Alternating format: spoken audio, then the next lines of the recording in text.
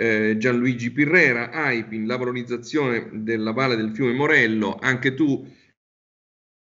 eh, Gianluigi hai 20 minuti e come gli altri ti segnalerò quando ha 5 minuti insomma della del chiusura. Prego Gianluigi. Dicevo, io parlerò di ingegneria naturalistica anche se in termini eh, un po' diversi da come sono stati mostrati in maniera forse un po' rigida eh, rispetto alla definizione che ha fatto eh, Paola Sangalli. Le ragioni sono tante, soprattutto perché stiamo parlando di riqualificazione fluviale, ma l'Europa è grande, anche l'Italia è grande e per parlare di fiumi abbiamo bisogno di acqua e suolo e noi abbiamo ambiti dove fluviali, ma di fatto valloni, dove il suolo viene completamente eroso eh, nel, nell'incile e poi fondamentalmente l'acqua non l'abbiamo, tranne che durante i periodi eh,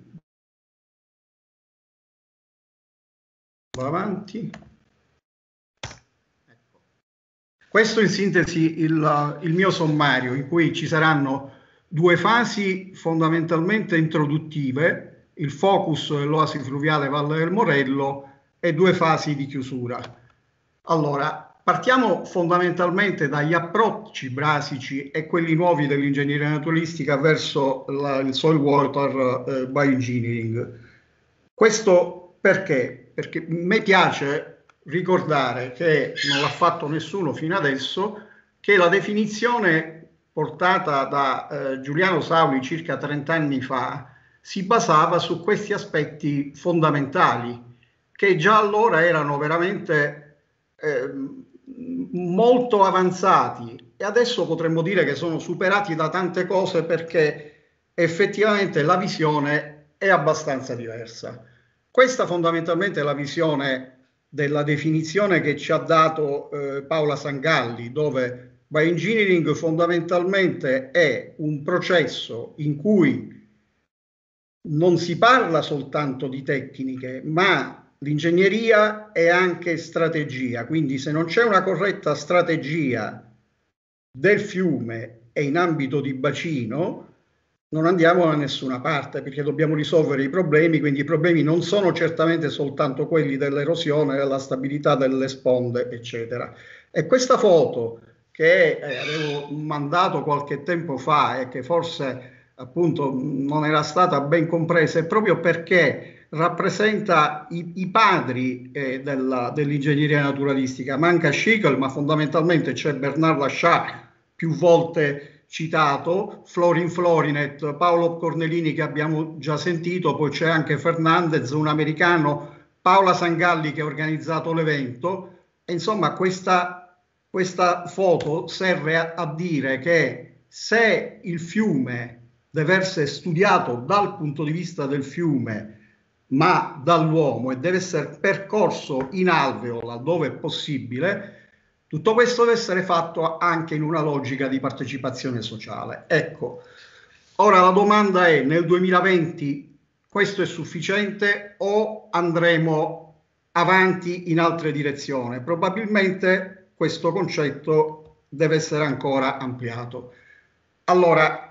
Innanzitutto c'è l'aspetto della formazione che è fondamentale. Paola ne ha, ne ha accennato qualcosa, allora rimanendo, visto che Paola rappresentava l'EFIB, eh, molto molto rapidamente eh, voglio far scorrere un cantiere didattico dell'EFIB svoltosi a Malta, quindi in ambito mediterraneo, ma siamo al sud, con una fase frontale ovvia come c'è eh, un po' in tutti i, i, corsi, questo mini corso, dove eh, le tecniche sono state quelle di, del manuale che ci ha esposto eh, Paola, dove gli obiettivi fondamentalmente erano quelli. In un alveo dove qua siamo a settembre, acqua non ne vedete completamente, ma l'acqua c'è quando ci sono i fenomeni di piena eh, prevalentemente nel periodo, nel periodo invernale, l'obiettivo è quello di ricostituire le gallerie di salici che vedete dietro eh, l'Arundeto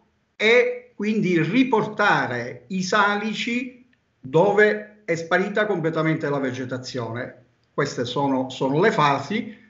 Qua materiale vivaistico non è stato utilizzato, esclusivamente germoplasma locale da taglio poi eh, messo, messo, in acqua eh, un giorno prima per il taleaggio e dopo messo in opera.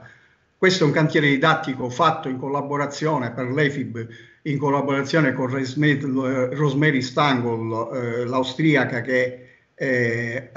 segue Florin Florinet nella, nella, cattedra sua. Ci sono state delle, delle tecniche che abbiamo esposto ma come vedete questo è un cantiere, un mini cantiere didattico molto interessante perché ci siamo ritrovati con materiali non idonei dal punto di vista della, eh, del dimensionamento. Allora per la prima volta abbiamo fatto un cantiere didattico in scala 1 a 2, anche per verificare la validità dei materiali. Ebbene, questa è la conclusione de dei lavori. Il risultato è stato questo, a seguito di una, di una piena le piante hanno resistito, un cantiere semplicemente di un giorno, le piante hanno resistito e gli attecchimenti ci sono stati. Questo è il monitoraggio a 7-8 mesi e lo sviluppo delle, delle, delle talee dopo poco tempo. Solo materiale locale non vivaistico. Altre informazioni saranno pubblicate sul prossimo numero di Acer. Andiamo adesso al focus della, eh, della presentazione che riguarda l'oasi fluviale Valle del Morello. Un po' di storia mh, mm, riguarda il fatto che questo è un lavoro molto vecchio eh, del 2008 che aveva fondamentalmente come obiettivo del progetto di, di fattibilità quello di pulizia, questo bruttissimo termine, pulizia dell'alveo per permettere de, dell'alveo del fiume Morello e dei valloni tributari per eh, fare in modo che l'acqua potesse affluire eh, alla, alla diga sottostante. Bene, il progetto però è stato presentato, quello esecutivo, in maniera molto diversa. Eh, allora si diceva in termini eh, olistici, adesso fondamentalmente diremmo eh, guardando allo sviluppo di servizi ecosistemici per il, l'accrescimento e il mantenimento del capitale naturale e culturale. Questa è una foto a cui sono molto affezionato perché questo è il, ciò che ha ispirato il progetto. Questa foto è come se fosse stata fatta più di due millenni fa, perché questa è, un, è un'area che era eh, percorsa era tutta navigabile ed era un'area che permetteva il uh, trasporto, gli scambi dei minerali e delle rocce e quindi in particolare delle ossidiane dalle olie verso l'Africa e al contrario dalla, da Pantelleria verso, verso le olie e verso il nord. Quindi ci dà l'idea come tutto è cambiato. Ma siamo in Sicilia, è la regione d'Europa a maggior tasso di, de- di desertificazione e Villarosa è proprio la, ci- la, la, città, il comune della Sicilia a maggior tasso di desertificazione in Sicilia e conseguentemente d'Europa. Quindi questa è la foto della visione del, del progetto. E allora guardando alla memoria bisognava anche guardare con gli occhi dei villarosani eh, e questo fondamentalmente è una, una eh, poesia che parlava di eh, clima caldo, del fiume, del poco verde, della terra arsa, delle rare piante, delle miniere. Praticamente ci sono tutte le keywords del, del progetto. E ancora specificatamente andando a volo d'uccello con dei pinnuti farchi, come, come diceva, diceva De Simone, ci dice l'importanza del, del, del tamericeto e, e di altri aspetti chiave. Ma i valori, quindi guardiamo in scala di bacino, ci sono valori da salvaguardare, architettura, siti archeologici, valori minerari, archeologia industriale, e questo è il capitale umano che è derivato dall'uso dell'uomo, però anche una natura come anche una natura inaspettata, abbiamo orchidee in discarica, in discariche che non, non hanno avuto un, un processo completo sino alla rinaturalizzazione, semplicemente una messa in sicurezza, eppure la natura si riprende i propri spazi e fa ricrescere le orchidee proprio in discarica. Quindi un capitale naturale abbastanza importante. Ma il progetto era anche un progetto infrastrutturale in maniera tradizionale e allora quali erano le opere? Cinque capitoli fondamentalmente delle Greenway con delle sentieristiche che mettevano in correlazione i vari, i vari siti, opere tradizionali di ingegneria naturalistica, dove per tradizionale io intendo fondamentalmente quello che eh, viene malamente interpretato come una rigidezza di, di, di, opere, ma non è questa l'ingegneria naturalistica. Opere specificatamente per la fauna, quindi per il wildlife management, quindi isole, pali di sosta, nidi, zattere galleggianti, eccetera. Aree dedicate alla fruizione, bird watching, ricerca, accoglienza, vivai, manutenzione, eccetera, ma soprattutto opere per la depurazione in alveo. E quindi se guardiamo a ciò che viene considerato, io dico ormai erratamente dai manuali, come ciò che è l'ingegneria naturalistica, l'ingegneria naturalistica è molto altro, queste sono state le opere che sono state messe eh, in opera eh, e con messe a dimora di piante prevalentemente del luogo in, uh, in alveo, nelle sponde, eh, eccetera. Ma lo voglio ribadire, l'obiettivo principale tecnico, più che il controllo dell'erosione fondamentalmente è, è, quello della stabilizzazione delle sponde, visto che siamo in un ambito di bacino, è quello per la desertizzazione che avanza, trattenere l'acqua e il suolo nei valloni tributari, valloni tributari che non, non hanno acqua. Le opere per il wildlife management sono opere molto semplici, isole galleggianti, molto, molto utili, anche pozzetti per anfibi e beveraggio, uccelli e piccoli mammiferi per indirizzare le acque, le acque dei sentieri, ovviamente per la fruizione del bird watching, eh, queste altre opere per il, ma la, la cartellonistica, fruizione, perché il coinvolgimento della popolazione è stato fondamentale, ma c'è fondamentalmente da guardando alle opere che dobbiamo tenere conto del climate change, quindi i problemi maggiori sono questi, come vi dicevo, della desertizzazione e dell'interrimento dell'invaso. Queste sono le precipitazioni medie, siamo molto, molto al di sotto della media regionale che è 633 mm e che è certamente al di sotto delle medie, delle medie nazionali e di quelle svizzere con temperature medie annuali molto alte che eh, oscillano tra i 12 e i 16 gradi e in estate siamo spesso in piena campagna superiore, con temperature superiori ai 45 gradi. Queste sono le, le temperature e le piogge. Il progetto, la direzione dei lavori e tutto è chiaro che è stato fatto in multidisciplinarietà, una multidisciplinarietà applicata perché effettivamente ci sono eh, tante professioni, non solo ingegneri, architetti, ma anche eh, naturalisti, geologi, eccetera. 625 mila euro di opere di ingegneria naturalistica su un milione eh, circa complessivi.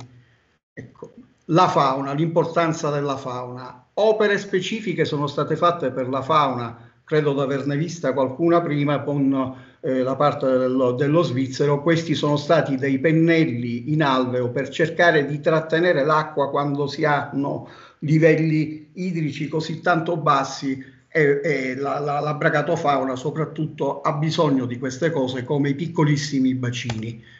La vegetazione, eh, beh, due sono stati i concetti quella della vegetazione. Uno, la vegetazione dall'ambito umido al secco sino alle specie che non appartengono alla rinaturalizzazione come il, fico d'India, che sono però ormai specie storicizzate per il paesaggio siciliano e mediterraneo. Ma le specie idonee per l'ingegneria naturalistica vanno da quelle principali come la Tamarix africana alle, alle, alle varie idrofite sino a flora di interesse naturalistico e la flora di interesse naturalistico è questa, una gamma di orchidee notevolissime, ma anche ma anche di iris. Quindi questi sono stati gli obiettivi, posso dire, tecnici dell'ingegneria naturalistica.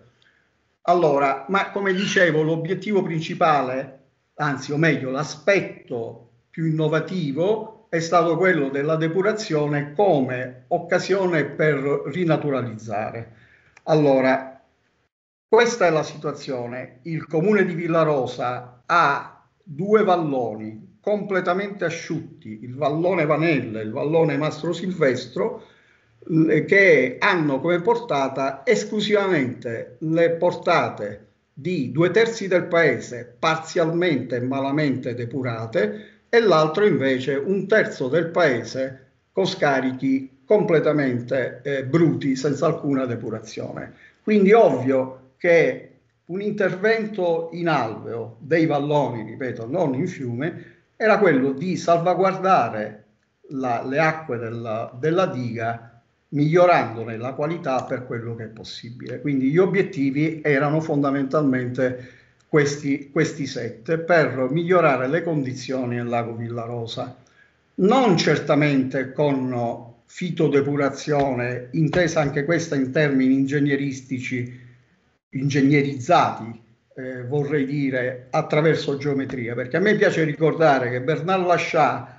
eh, Gianluigi, 6-7 sì, minuti. 7 minuti, allora volo sì, lettera, letteralmente. Questa è la scelta di sette interventi eh, chiave, dove non si è fatto altro che intervenire in alveo attraverso quello che viene considerato il principio dell'infiltrazione percolazione che deriva dal concetto dei percolatori, ma varando dei sacchi in alveo per eh, creare dei bacini temporanei eh, dietro queste queste briglie eh, molto sommarie e, e, e, naturali e far crescere la vegetazione.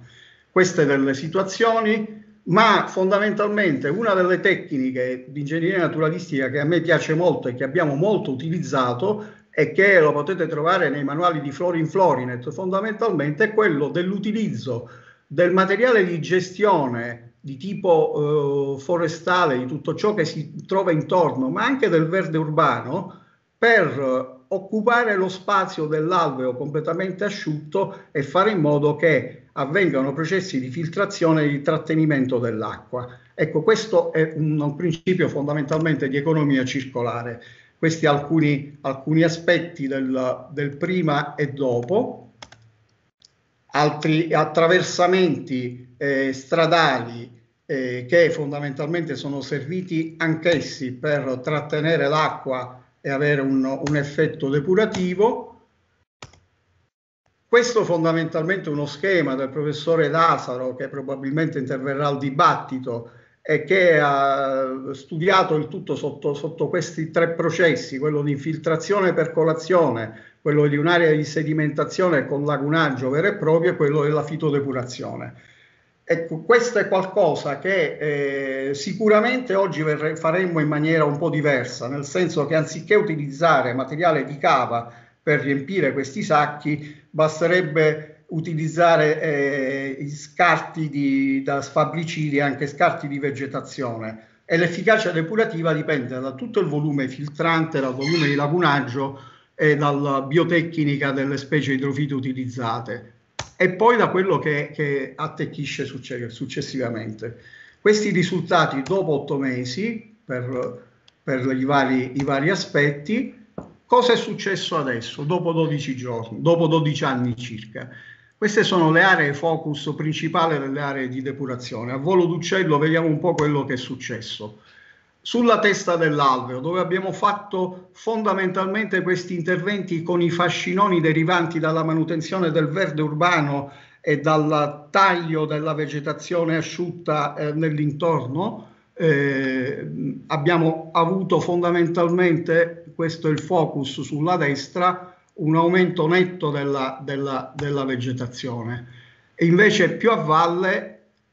eh, a monte degli interventi sono cresciuti i salici che si sono fondamentalmente autopropagati perché hanno trovato una, una stagnazione di acqua laddove fondamentalmente l'acqua subito dopo una pioggia si perdeva e quindi la, il, il, saliceto è cresciuto notevolmente. Io non amo il salice perché è una di quelle piante che se non ha proprio l'acqua non ce la fa assolutamente a crescere in Sicilia. Queste le foto effettivamente del, del saliceto ormai eh, ben insediatosi.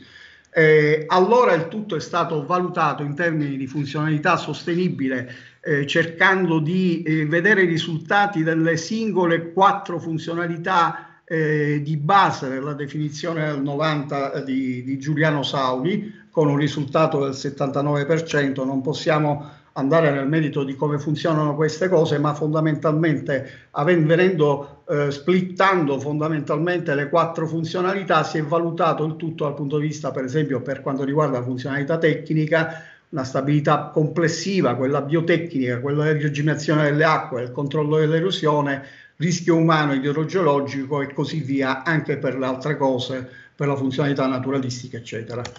Eh, concludo dicendo fondamentalmente che l'esperienza, eh, la, la, il lascito fondamentalmente di questa, di, di questa esperienza è stato quello di cercare di fare in modo in tutti gli interventi che poi successivamente abbiamo fatto di fare in modo che ci sia un diretto collegamento eh, con la, la la creazione di, di aree umide per, sia per, per, la fauna ma anche per una biodiversità eh, floristica abbastanza di interesse. Quello di prima è un caso fondamentalmente di eh, depurazione naturale a valle di una fitodepurazione di tipo, di tipo tradizionale. Eh, queste le piante insediate, si sono tre specie per la fitodepurazione tradizionale e tante altre che ne crescono dietro. Eh, questo è un esempio che non è in Sicilia, ma fondamentalmente una tecnica tradizionale di ingegneria naturalistica, nel senso che è un'impermeabilizzazione con uh, un geocompositi bentonitici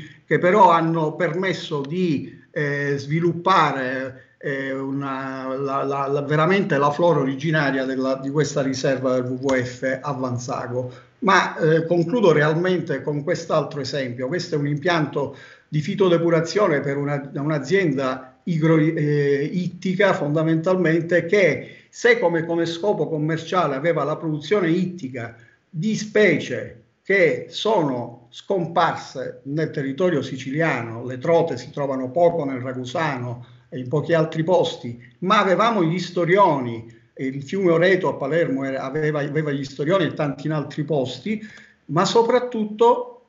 è, è, importante per delle specie prioritarie. Qui si producono delle, delle anguille e così la produzione delle anguille può, ser- può, servire anche per gli obblighi tiogenici, qualcosa che viene trascurato completamente eh, da un punto di vista delle applicazioni, ma anche del, del, legislatore. Noi qui in Sicilia abbiamo pochissimo, ma sono poche le regioni che hanno una politica per gli obblighi tiogenici eh, specifica. Quindi eh, guardare all'industria anche per, per, i fiumi credo che sia fondamentale e questo serve anche per migliorare la qualità dei deflussi, ho, ho, realmente finito. Queste sono le conclusioni, sono sette punti. Eh, a 12 anni le opere di ingegneria naturalistica non sono praticamente visibili se non per la maggiore copertura eh, vegetale, sono comparsi i salici, i salici e i pioppi, eh, fondamentalmente le, eh, già nei primi anni eh, c'è stato un, un, forte senso di appartenenza del bene collettivo, quindi la popolazione ha ben preso il tutto, però invece le governance eh, non sono riuscite a trovare un'adeguata intesa gestionale per la manutenzione delle opere.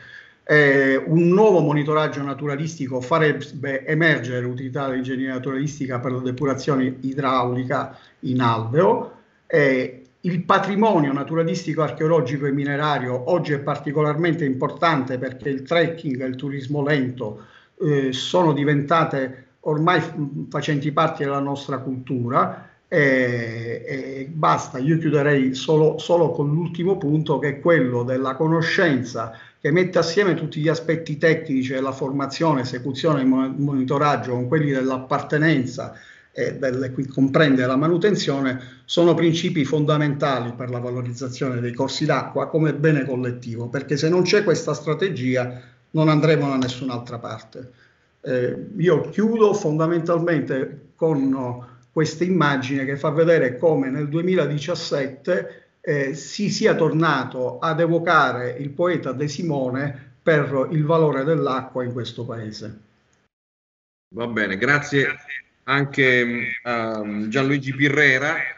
che oltretutto ci ha, ci ha fatto vedere, ci ha portato in una situazione dove sicuramente è molto più difficile lavorare proprio per la carenza d'acqua, quindi con dei, ehm, problemi, delle problematiche completamente diverse da quelle che abbiamo visto. Eh, quindi diciamo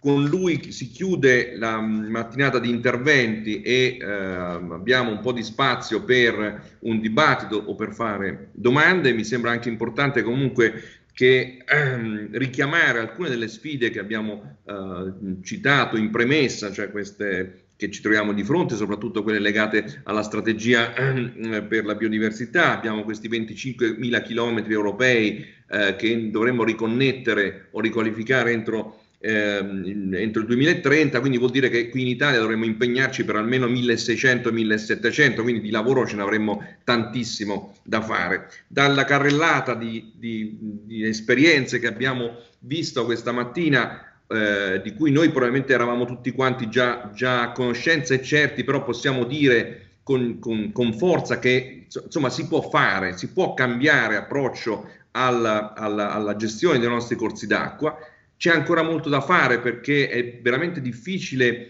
eh, diciamo, scardinare certi comportamenti consolidati. Eh, lo abbiamo visto per esempio in Emilia Romagna dove ci sono delle linee guida bellissime, ma poi sul territorio è molto difficile fare interventi, far cambiare la modalità, per esempio, di gestione e di manutenzione dei corsi d'acqua e molto spesso noi riusciamo a fare o a promuovere dei progetti di rinaturalizzazione, di riqualificazione con progetti particolari, con dei live, con altre cose. Cioè ancora non c'è una prassi, diciamo, di queste cose. Quindi il lavoro da fare di formazione, come diceva e ricordava adesso Pirrera, di formazione di, di, di, e di informazione, perché una delle cose eh, molto gravi, secondo me, è che ogni volta, l'abbiamo visto anche in questi giorni, dopo i disastri che sono avvenuti, eh, c'è sempre qualche politico, e, e, sono tanti purtroppo, che hanno la soluzione in tasca, no? basta dragare, basta ehm, fare questi tipi di interventi e, e, e basta. Il problema è che eh, si strumentalizza quello che può essere un intervento, magari in alcuni casi mirato, che se mirato può aver senso, come per esempio la rimozione di materiale in, in situazioni a rischio, con la soluzione del problema, cioè laddove tu hai eh, tolto in molti casi eh, veramente chilometri quadri di aree di espansione dei, dei, fiumi, perché sappiamo tutto il problema del consumo di suolo, eccetera, quindi le sezioni di alveo si sono ridotte di centinaia e centinaia di metri, in alcuni casi non puoi recuperare tutto quello spazio scavandolo, è evidente, però c'è un po' questa, questa questa fake news, no? dove ma insomma in fondo basta dragare i fiumi, l'ho detto due, due, due anni fa, c'era stata quell'affermazione di Salvini dopo, subito dopo le, le, le, consuete alluvioni, poi è stata ripresa da vari governatori, in Liguria dopo aver fatto di tutto per ehm, costruire sempre più vicino ai corsi d'acqua, tra l'altro una regione dove i corsi d'acqua sono problematici di loro per, per la loro costituzione, per la geomorfologia del, del, del, della regione. Eh, il, la, la, soluzione, Toti, eh, in questo caso eh, è, è, semplice, è quella di, di, di, di, dragare. Quindi abbiamo molto da fare proprio per cercare di, cambiare un po' questo approccio, di convincere che si può fare diversamente, che non ci sono delle soluzioni semplici, ma sono soluzioni complesse, articolate, che devono tener conto, come abbiamo detto oggi, del bacino, del, dell'idrografico, delle condizioni e anche delle migliori tecnologie che ci sono. E adesso ci sono, sappiamo farle queste cose, l'abbiamo, l'abbiamo fatto, l'abbiamo visto oggi. Quindi secondo me è fondamentale proprio anche un, un lavoro comune di tutti noi, cioè dobbiamo trovare un modo anche per un confronto adesso, in questo momento, in questi giorni, nei, nei prossimi giorni, con eh, il governo, con il governo nazionale, ma anche i governi regionali, per cercare di eh, far sì che venga programmato qualche cos'altro, perché come ci diceva anche Laura all'inizio, tutto sommato mh, alcune cose che erano dentro importanti, alcuni principi che erano dentro alcuni documenti si sono poi persi e anche nelle linee guida eh, del, del, del, del, piano ehm, che, che, che, che dovrà poi essere il, um, che dovrà poi definire poi i progetti che dovremo fare con i soldi europei, di, diciamo si è perso un po' tutto questo. Eh, tra l'altro io eh, e, mi, mi, taccio qui, eh, abbiamo fatto come WWF, ehm, abbiamo lanciato pochi giorni fa un um, documento proprio sulla manutenzione ehm, sui fiumi perché purtroppo le segnalazioni che ci arrivano di interventi devastanti sui corsi d'acqua sono tantissime, arrivano da, da tutta Italia, purtroppo è una cosa eh, allucinante. Eh, e eh, abbiamo fatto questo, questo, report con tutta una serie di, di proposte che poi molte delle quali sono quelle di cui poi di fatto abbiamo parlato anche oggi.